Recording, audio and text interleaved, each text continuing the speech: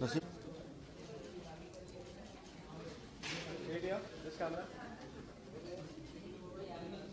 Sir आप तीनों का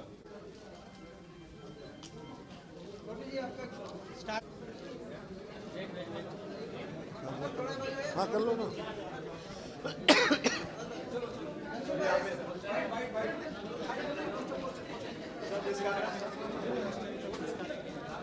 कर रहे हो यहाँ पर अजय, नीरू को बुला। एक मिनट, नीरू को बोला ना।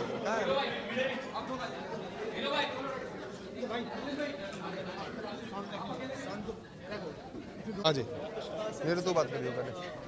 नोट पे चोट का म्यूज़िक किस तरह का होने वाला है? थोड़ा सा हमारी ऑडियंस को बताएँ क्योंकि आपके म्यूज़िक में हमेशा से एक अलग वेरिएशन देखने मिलता है।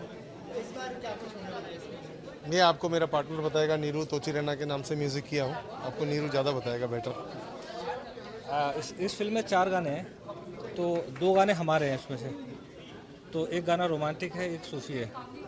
तो आ, हमने तो आ, जो रिक्वायरमेंट हमें हमारे पास आई कि हमें एक रोमांटिक सॉन्ग चाहिए एक सैड सॉन्ग चाहिए और उसके अकॉर्डिंग हमने ये काम किया है।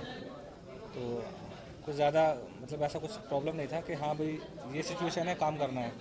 तो किया बस।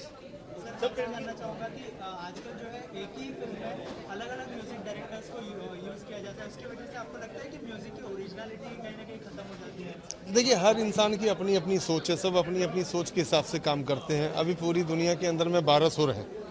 तो मालिक ने सबको दिमाग दिया हुआ है। तो सब अपने सुर में अपने दिमाग से ही तो बना रहे हैं।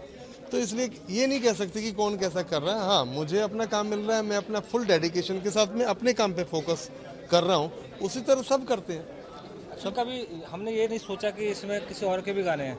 अगर हमें कोई गाना मिला है तो हमको उसको अपना हंड्रेड परसेंट देना ही देना है। बाकी किसी का क्या अच्छा है बुरा है हम ना तो उसको मतलब अच्छा है तो अच्छी बात है लेकिन बुरा है तो हमें उसके लिए भी कुछ नहीं बोलना है। बट ये कि हमें जो मिला है हमें वो हंड्रेड परसेंट करके देना है। सर आपकी वाइफ भी जो है जी। वो इनक्रेज किया और लिखती है उसके बहुत सारे तीन चार डायरियाँ भरी हुई हैं गानों से। तो ये पहला मौका मिला ऐसे और अजय जो फ़िल्म में हीरो हैं और वो मेरा ब्रदर दोनों साथ में थिएटर भी बहुत किए हैं। तो पहली बार मौका मिला उसको तो मौका अगर किसी को मिलता है इनकरेज करना चाहिए। और मैं तो सबको करता हूँ। कोई सिंगर भी अगर मेरे पास में आता है अगर मेरे से पूछता है तो मैं बहुत गाइड भी करता हूँ उसको। कोई राइटर ही मेरे पास में आता है तो उसको भी बहुत गाइड करता हूँ कि पढ़ना बहुत ज़रूरी है। और पहला मौका मिल रहा है तो पहला मौका अच्छी बात है लिखना चाहिए मैं तो बट हमने ऐसा नहीं किया कि भाई हमारे घर की लेडी है तो हाँ, यही वाला गाना लो। हाँ। हमने उनको पाँच या छह ऑप्शन भेजे कि भाई आपको कौन सा बेस्ट लग रहा है आप ले लो। तो उन्होंने लकीली वो वाला गाना चूज़ किया। हाँ तो अजय ने बिल्कुल जो फ़िल्म ऐसा नहीं था कि हमने फोर्स किया हो कि भाई हाँ, आपको ये वाला गाना हाँ। लेना पड़ेगा ऐसा नहीं था। हाँ। आजकल जो है सिंगल्स का दौर चल पड़ा है तो ऐसा कोई गाना है जिसको आप रिक्रिएट करना चाहते हो या फिर वो गाना रिक्रिएट होना चाहिए ऐसा कुछ प्लान हो अगर आपका अगर आप मैं रिक्रिएट पे बिलीव नहीं करता हूँ। क्रिएशन पे बिलीव करता हूँ। क्रिएटिविटी पे बिलीव करता हूँ। आपको एक ज़िंदगी मिली है आप नई नई चीज़ें क्रिएट कर सकते हो। दूसरों की चीज़ को लेकर के मैं रिक्रिएशन नहीं करना चाहूँगा कि मालिक ने आपको नेचुरल बनाया और जब नेचुरल बनाया तो आप अपनी चीज़ पैदा करो ना। मैं उन पर ज़्यादा बिलीव करता हूँ।